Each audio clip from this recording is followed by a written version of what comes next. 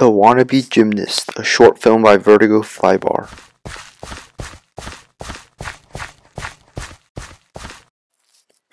Whoa, whoa. Ah, ah, I'm okay. Hello, darkness, my old friend. I've come to talk with you again. Because a vision softly creeping left its seeds while I was. Please subscribe and like.